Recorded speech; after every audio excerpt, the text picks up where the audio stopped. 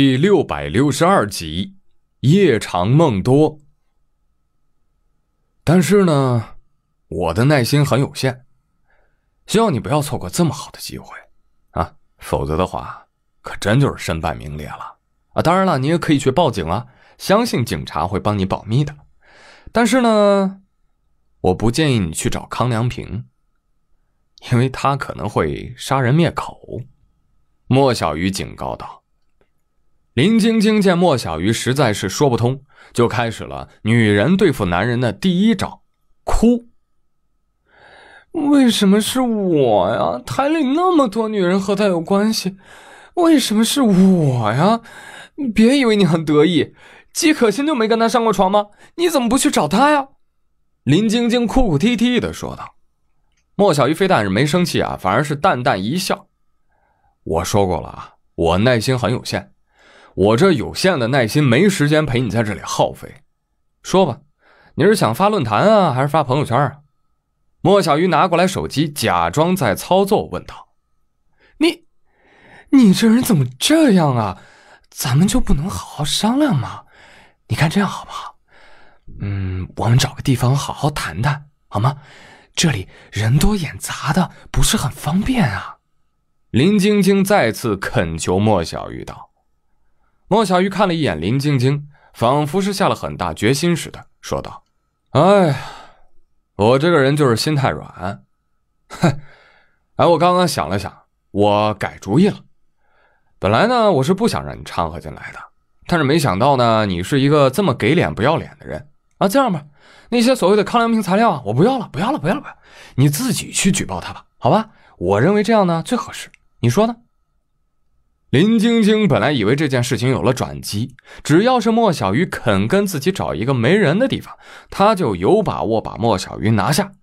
但是没想到莫小鱼是油盐不进，居然还能让自己去举报康良平，那自己还有活路吗？不不不不不，我我我不敢，我也不会干的。林晶晶说道。啊，那你这也不干，那也不干，你想干什么呀？莫小鱼戏谑的说道。莫先生，您就饶了我吧。您只要是饶了我，我保证您的回报是想不到的，好吗？你你想要什么？女人还是钱？都可以，都可以。我可以给你安排最干净的女人，没有男人上过的。要钱你就跟我报个数。林晶晶使出了杀手锏，这等于是承诺爬上莫小鱼的床了。所以，我们还是按照第一个方案。你拿证据，我来操作，这不为难你吧？莫小鱼又回到了一开始的条件。当有了后一个方案的恐吓之后，林晶晶觉得第一个方案其实还是挺靠谱的。虽然不想答应啊，但是也没退路了呀。到了最后，林晶晶果然是答应了，但是要收集起来还需要等一两天。但是莫小鱼啊，怕夜长梦多，只给他一个晚上。否则的话，一切后果由他自己负责。林晶晶答应了之后，走出了咖啡馆，但是总给莫小鱼一副不真实的感觉。而且按照一般人的推理，经历了这个打击之后呢，应该是精神萎靡不振、心事重重的样子。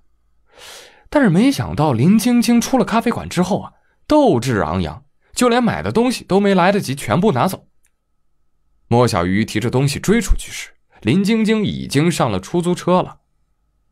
莫小鱼想了想，觉得事情有点太简单了，于是开车跟在了出租车后面，一直跟到了市内的另外一个小区。看来啊，这里也是林晶晶的家。那郊外的那个家呢？那个家装修的也不错，不可能是租的呀。喂，啊，杨局长，忙着呢。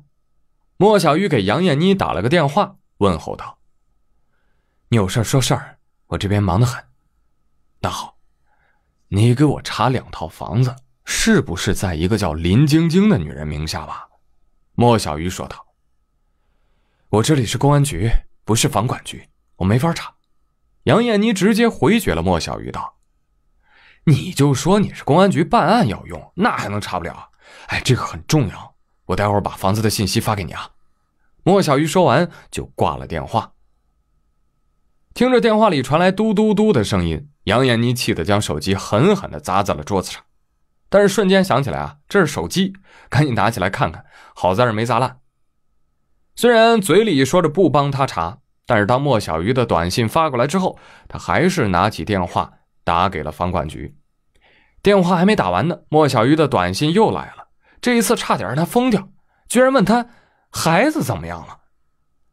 正像莫小鱼担心的那样，林晶晶啊，确实是不想举报康良平。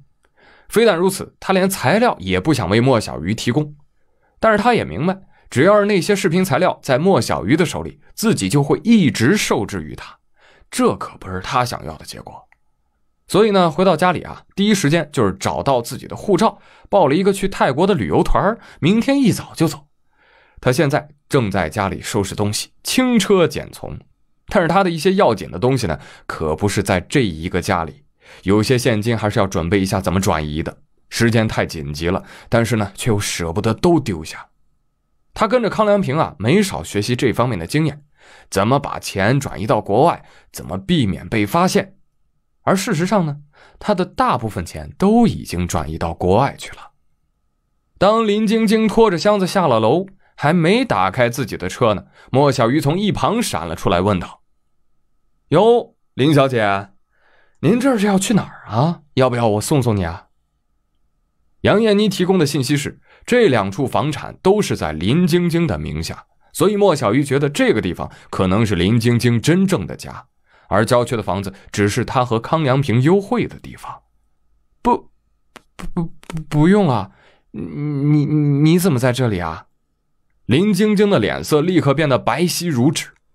莫小鱼一看就知道这娘们儿是想跑，宁可工作不要了也要跑掉，这里面得有多大的事儿啊！哎，我来接你的，走吧，你想去哪儿？我送你去，是机场啊，还是火车站啊？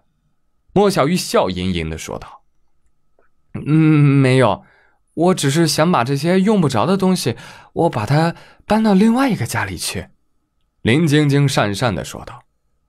莫小鱼不理会他，直接把行李搬到了自己的车上，打开车门说道：“请吧，去你另外的家里。